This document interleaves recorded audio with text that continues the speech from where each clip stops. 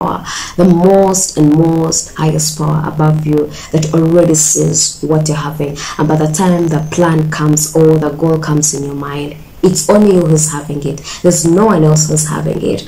And it's your plan. That's why sometimes we tell people our projects, our goals, and they look at us with the eye of, are you okay? But in actual sense, it's not their plan. It's not my it's not their goal. It's it's for me. It's for you. And someone's plan of their house it's completely different from someone's plan of their own house. Someone wants a mansion. Maybe someone wants a one uh, two bedrooms house. So it's completely different. The choices differ and this leads us to what we have as our plans or as our goals. They're completely different. And let it not shake you that whenever you have a big plan darling keep it to yourself sometimes. Because you will tell people they look at you and they're like in this economy you have that plan.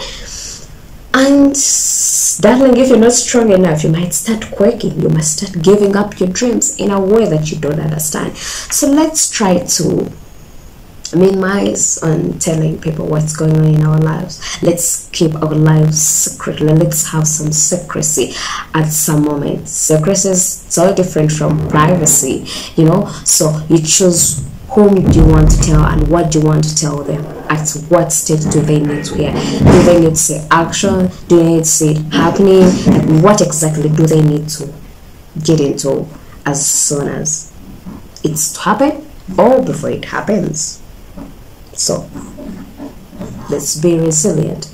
Resilient on our goals resilient whatever that we're doing as we take an extra mile and an extra mile starts from a decision today. Are you taking long to make that decision? Are you taking long to make that appointment? Are you taking long to make that call today? Just take a deep breath and say whatever. Will i die? If they don't pick me up will i die? No you're not going to die and if I don't get that job, will I die still? No, I won't die. So sometimes you have to think about of these worst scenarios. What will happen if everything is turning around? Will I die? No. I will still live. And the fact that I will still live, it means that there's still another bigger opportunity coming your way. And when you know that, and you stick that to your mind, it's when you actually know that, by the way, I can still live jolly, happy, you know? And life will still and life will still be amazing you know? So i consider this as um, a blessed day for both of us to try to find what we love most. Try to find what we're passionate about and we'll go out there and chase it and one thing i can tell you is um, believe in your soul. It's the last point I can say, and it's going to summarize everything that I'm going to say. When I say believe in yourself, it's something that took me some good time, and uh, um, I'm still learning to get there. I can't say I'm completely perfect there.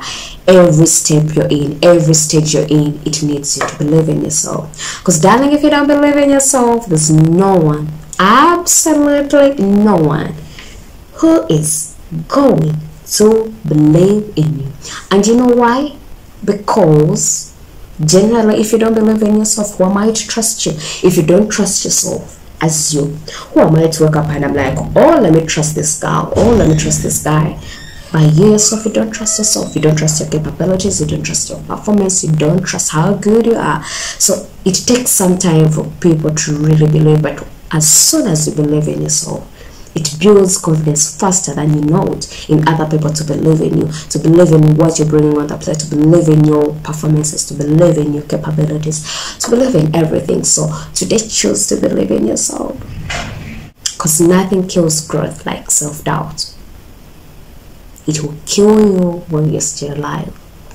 And to avoid that and to keep living, to keep smiling, believe in yourself. It doesn't matter how many times you failed. It doesn't matter how many times you're getting up each day. Still choose to believe in yourself because it's just so precious to wake up and know that I myself, I acknowledge who I am and I acknowledge in my capabilities what I'm good at, what I can do, what I can bring on the table. And you know what? I'm good. Like, I'm good. yes, that is the self belief that we want. And it all starts with self discovery, it all starts with knowing who you are and which steps are you taking towards knowing who you are. And I believe in you. I don't know if you believe in yourself, but as far as I'm concerned, and as far as my instincts, my intuition, and the inner voice, it still says there's a lot, absolutely a lot, that you need to see beyond just the fifth or the second eye. You just need to fix it in your third eye and see your capabilities that you're having. And every single day when you see that, you're going to go out there and shine like no other. Remember this that there's no one, absolutely no one, who's going to believe in you if you don't believe in yourself. But I still choose to tell you that I believe in you because you're so much better than so many out there. Don't have any competition with anyone. Have it with yourself. Are you better than yesterday? If you're better than yesterday, what more do you want? Just one step in front of the other. By the time you did it, that means you can do an extra mile towards that. So until then, I love you so much and have a beautiful day. Kisses.